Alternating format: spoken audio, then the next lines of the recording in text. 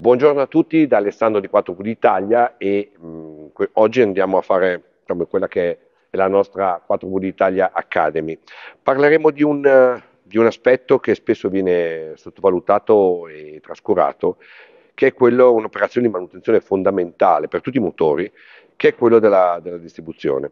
Le, diciamo, le, le tabelle di manutenzione sono molto chiare al riguardo e la distribuzione va fatta o in base ai chilometri percorsi, che noi raccomandiamo di non andare mai oltre i 120.000, questo è un motore 2.8 CRD di un Wrangler JK, quindi stiamo parlando di questo, ma ogni, ogni Jeep ha la sua, la sua tabella di manutenzione, per quelle le Jeep che hanno un motore con, con la catena e non con la cinghia, la, la manutenzione va fatta più avanti.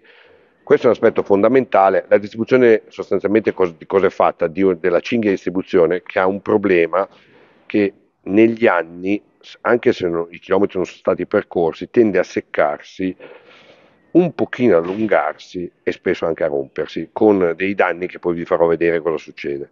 Quindi cinghia, pompa dell'acqua, questo è un pezzo di tendicinghia, questa è la cinghia dei servizi.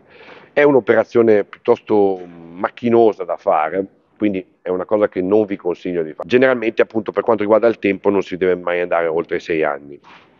Se si spezza la cinghia di distribuzione è un guaio, perché si piantano le valvole e nella maggior parte dei casi bisogna rifare il motore.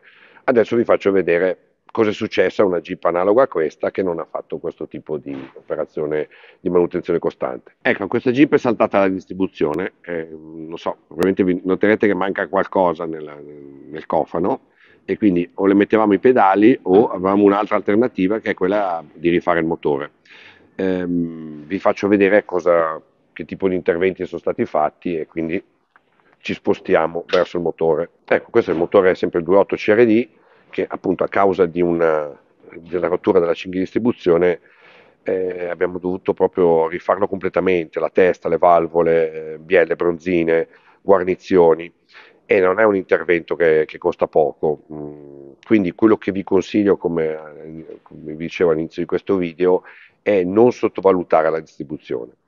La nostra officina ne fa tantissime distribuzioni proprio perché è una cosa che controlliamo sempre appena una Jeep entra nella nostra officina.